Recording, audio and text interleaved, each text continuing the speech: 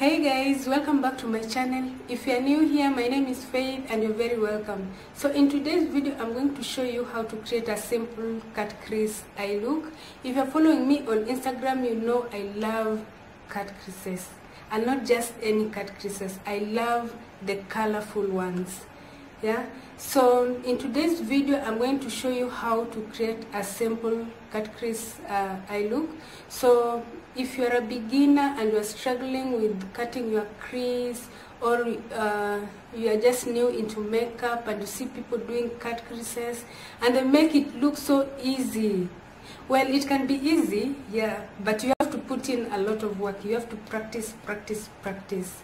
So um, if you're interested in knowing how to cut your own crease please keep on watching. And if you like the video kindly give it a thumbs up and subscribe to my channel if you haven't. So without further ado let's get started. So before you begin you have to know the type of eyes you have. As you can see mine are slightly hooded because this will determine how you draw your cut crease First, I'm going to prime my eyelids using L.A. Girl Concealer in the shade Fawn just to cover any discoloration on my eyelids. To set the concealer, I'm using your True Shade setting powder. You can use any powder you have. So the reason we are setting the concealer is to prevent your eyeshadow from creasing. Since we have hooded eyes, we are going to create a new crease, crease line above our normal crease line and we are going to do this on the following the socket of our eyes or the area with the slight depth. So today I'm using the Joy palette. So I'll use this tiny brush and the burgundy color from the Joy palette uh, to cut out the outer V in order to create the new crease. You can use any brown color or dark color of your choice. Then using a fluffy brush, I'm going to blend the product out, but I'll mainly be concentrating on the outer V. Uh, and notice the way I'm holding my brush. You really want to use a light hand for this. Then from the Juvia's Masquerade palette, I'll take this shade here and another brush and use it to blend the edges of the burgundy shade.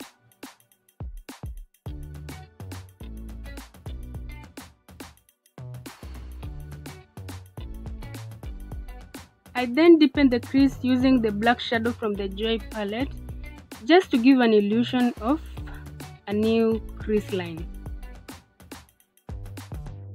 Now that we've already created a new crease line, we are now going to cut it and we'll be following the shape of the new uh, crease line. That is the dark part. To cut the crease, I'm going to use, I'm using L.A. Girl Concealer in the style Fawn. This is the same one I used to clean my eyelids. So if you cannot draw a smooth line like me, you can always do it using tapping motion. Like you just tap the product and drag it down. You tap it and drag it down.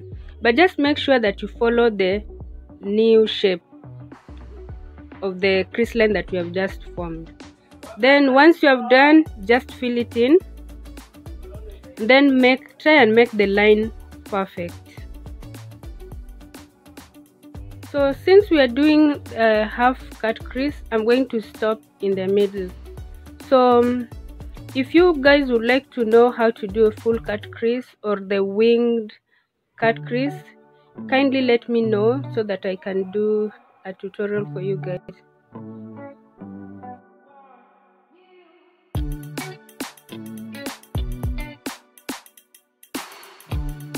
Then you can blend the outer edges using your finger or a brush.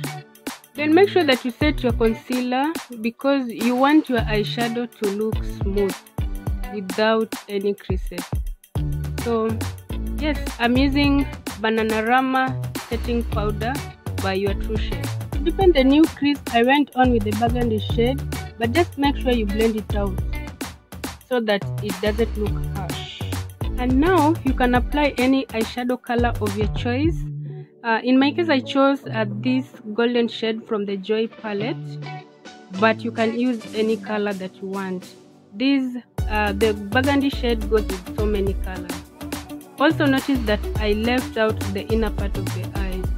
So using a fluffy brush, I'm going to take the burgundy shade from the Joy palette and apply it between the gold shade and the dark shade on the outer V. Then I'm just going to blend the two together just to create a smooth transition.